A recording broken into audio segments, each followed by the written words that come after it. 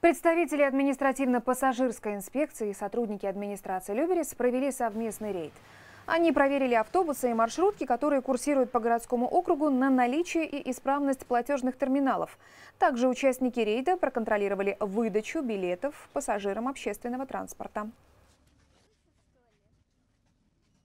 Если у водителя отсутствует терминал, за это предусмотрено Кодексом административных правонарушений Московской области наказание в виде штрафа в размере 2000 рублей.